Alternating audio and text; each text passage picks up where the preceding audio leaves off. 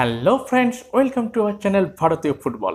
আজকে আমরা আবার একটা ভারতীয় ফুটবলের আপডেট নিয়ে চলে এসেছি। আজকে কিন্তু খুবই আনন্দের দিন। তখন গতকালই কিন্তু আমরা মোহামেডানের প্রথম গোল হওয়ার পরে কিন্তু ইনস্টাগ্রামে তার পোস্ট দিয়েছিলাম। তার আগে কিন্তু লাইভ করেছিলাম ইনস্টাগ্রামে, যে খেলা শুরু হচ্ছে প্রত্যেকে চলে আসুন দশ মিনিটের মাথায় যখন খেলা চলছে, সেই সময় অসাধারণ খেলা চলেছে। দেখতে হয়তো খুব ভালো লাগছে যে মোহামেডান স্পোর্টিং ক্লাব কিন্তু দুই শূন্য গোলে হারিয়ে দিয়েছে বেঙ্গালুরু ফুটবল ক্লাবকে। কিন্তু বিএফসি অসাধারণ খেলেছে। এবং তার সঙ্গে সঙ্গে আপনাদের এইটুকুই বলব বেঙ্গালুরু ফুটবল ক্লাব কিন্তু প্রথম হাফে যতটা ভালো খেলেছে সেকেন্ড হাফ কিন্তু তেমন ভালো খেলতে পারেনি। তবে তার কারণ কিন্তু এটাই যে মোহামেডান স্পোর্টিং ক্লাবের কিন্তু টিম প্ল্যান যাই হোক সমস্ত গেম প্ল্যান কেমনভাবে খেলা হলো, না হলো, কি হলো, না হলো, সমস্ত কিছুই বলব। তবে তার আগে কিন্তু দুটো ছোট্ট আপডেট আছে। প্রথম আপডেট তো অবশ্যই কালকে খেলা দুটোর ফলাফল কী সেটা নিয়ে। এবং দ্বিতীয় আপডেট কিন্তু মোহামেডান স্পোর্টিং ক্লাবের ফুটবল টিমের একটা খুব বড় চমক কিন্তু আমাদের সামনে আজকে আমি নিয়ে আসছি। সেহেতু ভিডিওর শেষ অবধি লক্ষ্য রাখুন। ভিডিও শুরু করার আগে একটা কথাই বলব, যারা এখনও অবধি আমাদের চ্যানেলটিকে সাবস্ক্রাইব করেনি তারা অবশ্যই সাবস্ক্রাইব করে নিন। এবং পাশে থাকা নোটিফিকেশান বেলটা ক্লিক করে অল অপশানটা ক্লিক করে নিন। তাহলে আমাদের ভিডিও নোটিফিকেশানগুলো আপনারা খুব তাড়াতাড়ি পাবেন এবং আমাদের ভিডিওগুলো কিন্তু প্রথম আপনারা দেখতে পাবেন। যাই হোক এবার তাহলে মেন খবরে চলে আসি। তো প্রথমেই কিন্তু আমরা বলি মোহামেডান স্পোর্টিং ক্লাবের একটা যে নতুন চমকের কথা বললাম, সেইটা।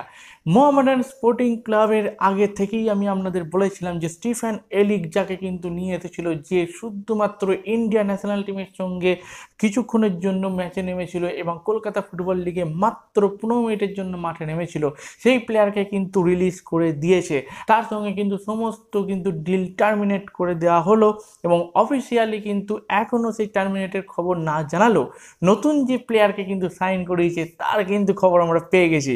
এবং তিনি খুব ভালো মানের প্লেয়ার মাত্র পঁচিশ বছরের প্লেয়ার এবং যে প্লেয়ারটা কিন্তু ইউথ ডেভেলপমেন্টের যে টিম থেকে সে উঠে এসছে, সেটা কিন্তু পিএসভি হ্যাঁ আপনারা ঠিকই শুনছেন পিএসভি মানে কত বড় মাপের একটা টিম থেকে ইউথ ডেভেলপমেন্ট থেকে কিন্তু সেই প্লেয়ারটা উঠে এসেছে। এবং তিনি কিন্তু মন্টেনিগ্রো যে দেশ আছে, সেই দেশের কিন্তু আন্ডার নাইনটিন দলের কিন্তু একদম প্রত্যেকটা ম্যাচের সদস্য ছিলেন, প্রথম ইলেভেনে খেলেছেন এবং এই দেশে কিন্তু টপ টায়ার লেভেলে একশো দশখানা ম্যাচ এখন অবধি তিনি খেলে ফেলেছেন। সেই পঁচিশ বছরের প্লেয়ার কিন্তু চলে আসছে আমাদের বাংলাতে, আমাদের ভারতবর্ষে, আমাদের মোহামেডান স্পোর্টিং ক্লাবের হয়ে খেলতে অ্যান্ডেলো রুডোভিচ হ্যাঁ আপনারা ঠিকই নাম শুনছেন অ্যান্ডেলো রুডোভিচ তিনি কিন্তু অ্যাটাকিং মিডফিল্ড পজিশনে খেলতে পছন্দ করেন এবং উইঙ্গার কিন্তু খেলতে পছন্দ করেন। এবং তিনি যদি টিমে চলে আসে টিমটার যে কত গভীরতা বাড়বে সেই নিয়ে তো আপনাদের আমাদের নতুন করে কিছু বলতেই হবে না। যে টিমে আছে মার্কাস জোসেফ জিএস টিমে কিন্তু আছে নিকোলাস, তো সেই টিমে যদি যোগ করে এই অ্যান্ডেলো রুডোভিচ, তাহলে কী রকম পর্যায়ে খেলা হতে চলেছে সেইটা আপনারা এখন থেকেই কিন্তু চিন্তা করতে শুরু করুন। যাই হোক, এই বড়ো খবরের সঙ্গে সঙ্গে কিন্তু এর থেকেও বড় খবর নিয়ে এবার আমরা চলে আসব, সেটা হিরো ফুটসাল ক্লাব চ্যাম্পিয়নশিপ দু হাজার একুশ নিয়ে। ভারতবর্ষে প্রথম অফিসিয়ালি কিন্তু ফুটসাল কম্পিটিশান চলছে এবং যে কম্পিটিশানে কিন্তু আমাদের মহামেডান কিন্তু ফাইনালে উঠেছে। এবং ফাইনালে প্রতিপক্ষ কারা? ফাইনালে প্রতিপক্ষ কিন্তু এই দিল্লি এফসি, যে কিন্তু আই লিগ কোয়ালিফায়ার্সে খেলেছিল, খুব ভালো ফলাফল করলেও কিন্তু নিয়মের বেড়াজালে তারা আই লিগ কোয়ালিফাই করতে পারেনি। কিন্তু ডুরান কাপে অসাধারণ খেলেছিল।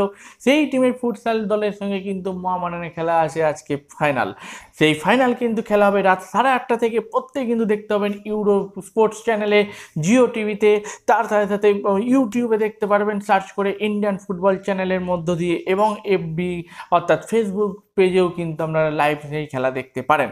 তো সেই খেলার আগে কিছু কালকের ফলটা আমরা বলে দিই। কালকে কিন্তু মোহামেডান স্পোর্টিং ক্লাব আমাদের মোহামেডান জান জান মোহামেডান দুই শূন্য গোলে কিন্তু পরাস্ত করে ব্যাঙ্গালুরু ফুটবল ক্লাবকে এবং দুটো গোলই হয় সেকেন্ড হাফে জয়েস করে বত্রিশ মিনিটে এবং সাঁত্রিশ মিনিটে করে সন্দেশ। এই সন্দেশের কথা না বললেই নয়, প্রত্যেকটা ম্যাচে কিন্তু আমাদের অভিভূত করছে সন্দেশ। এবং এই ম্যাচে তো গোল করে তো টিমকে একদম জয়ের কিনারায় নিয়ে চলে এলো। তবে এর মধ্যেই কিন্তু পঁয়ত্রিশ মিনিটে কিন্তু বেঙ্গালুরু ফুটবল ক্লাব একটা পেনাল্টি কিক পায়। যে পেনাল্টি কিক কিন্তু বার পোস্ট লেগে ঘুরে আসে এবং ব্যাঙ্গালোরের আরও তিনটে শট কিন্তু আমাদের আটকে দেয় মিহির সামন্ত গোলকিপার। অসাধারণ দক্ষতায় আটকেছে। শুধুমাত্র এটুকুই বলব না, মোহামেডানের কিন্তু তিনটে সিওর গোল হয়ে যেত, যে গোলগুলো কিন্তু ওদের গোলকিপার অসাধারণ দক্ষতায় সেভ করেছে। তবে এইখানে প্রথমেই আপনাদের বললাম যে সেকেন্ড হাফের কথাটা একটু বলব, এখানে বলে দিই।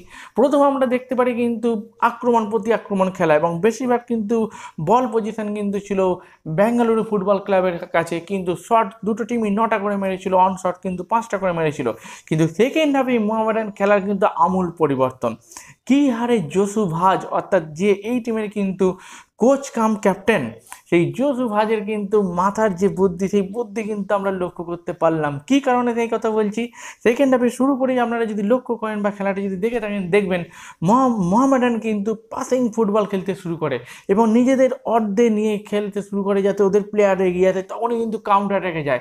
ওই ছোট্ট জায়গার মধ্যে ফাইভ এ সাইড খেলার মধ্যে কিন্তু কাউন্টার অ্যাটাকে যাওয়া খুব একটা সোজা কাজ নয়। কিন্তু কালকে ফুটসালে আমরা দেখতে পারলাম আমাদের বাংলার টিম মোহামেডান স্পোর্টিং ক্লাব কিন্তু সেই কাজটাই করেছে। সেহেতু কিন্তু আমরা আশা করতেই পারি ফাইনাল অর্থাৎ আজকে ম্যাচ দিল্লি এফসির সঙ্গে, যার সঙ্গে খেলা তাদের সঙ্গে কিন্তু আমরা খুব ভালো ফল করব। তবে দিল্লি এফসির কথা বলতে গিয়ে একটা কথাই বলি, কালকে কিন্তু দিল্লি এফসি মঙ্গলা ক্লাবকে কিন্তু বারো সাত গোলে হারিয়েছে। এবং দিল্লি এফসি কিন্তু অনেক গোল করছে গোটা টুর্নামেন্ট জুড়েই। দেখা যাক এবার ফাইনালে কি হয়। খুব শক্ত প্রতিপক্ষ দিল্লি, এই কিন্তু এইটুকু বললেও আমি এটুকুই বলতে পারি, আমরা কিন্তু আনবিটেন চ্যাম্পিয়নের পথে এগোচ্ছি। এবং এটা দ্বিতীয় ফাইনাল আমাদের এই সিজনে প্রথম ফাইনাল কিন্তু ডুরান কাপে গোয়ার সঙ্গে হারতে হয়েছে। সেহেতু কিন্তু ফুটসালে কিন্তু সেকেন্ড ফাইনালে আমরা কোনো মতে হারতে চাই না। দেখা যাক কী হয় এবং আপনারাও জানান আজকে ফলাফল কী হতে পারে, কে ভালো খেলতে পারে, নাও খেলতে পারে। এখনকার মতো আমরা ভিডিও এখানে শেষ করছি। ভালো লাগলে অবশ্যই লাইক করবেন শেয়ার করবেন এবং আমরা কিন্তু কমেন্ট বক্সে অবশ্যই নিজেদের মন্তব্যগুলো লিখে পাঠাবেন। এখনকার জন্য টাটা।